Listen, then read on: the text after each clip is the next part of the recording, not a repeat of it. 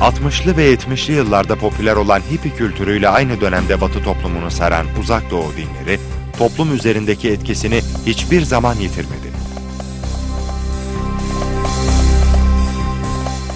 Bu kez yeni bir isimle insanların karşısına çıktı. New Age.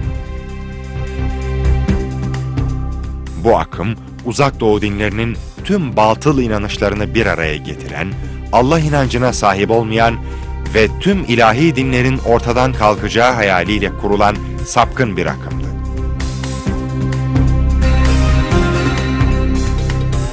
Bu hareketin çıkış noktası önce Amerika'da, ardından Avrupa'da kurulan ve batıl uzak doğu kültürünü batılı insanların hayatına taşımayı hedefleyen Teozofi dernekleri oldu.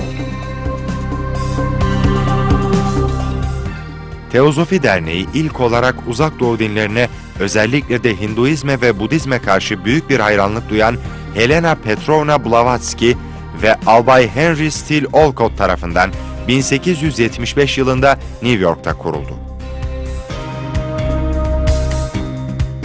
Helena Blavatsky gizli öğretilere, ruhlarla bağlantı kurduklarını iddia eden inanışlara, büyüye, mistisizme, uzak doğu dinlerinin batıl ritüellerine ilgi duyan, bu amaçla Hindistan, Tibet, Çin, Japonya gibi ülkeleri birçok kez ziyaret etmiş bir gezgindi.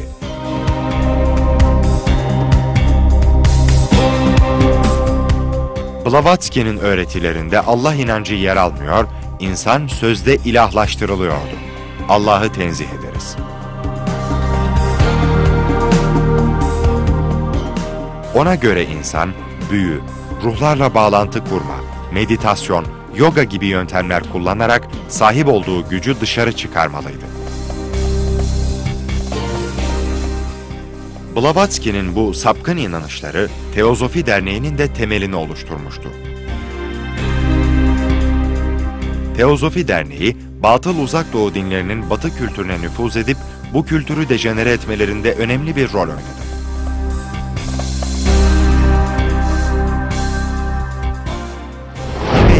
Hareketi ise eski bir Teozofi Derneği üyesi olan Alice A. Bailey tarafından başlatıldı.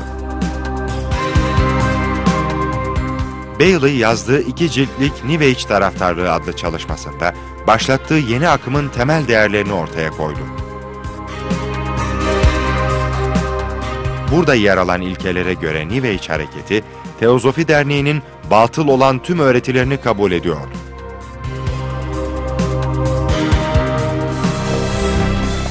Hinduizm, Budizm, Şamanizm, Taoizm gibi putperest dinlerin sapkın inanışlarının yanı sıra çeşitli batıl bilimleri de içeriyordu. Büyücülük, falcılık, medyumluk, kehanet ve mistisizm bunların başında geliyordu. Bailey'nin ardından New Age öğretisi hızla taraftar topladı ve Batı kültürünün önemli bir parçası haline geldi. Ancak bu öğreti, akıl, mantık ve sağduyuyla bağdaşmayan türlü iddialar içeren, fal ve büyü gibi birçok batıl uygulamayı teşvik eden, insanları gerçeklerden uzaklaştırıp hayali bir dünyada yaşamaya sürükleyen bir aldanıştı.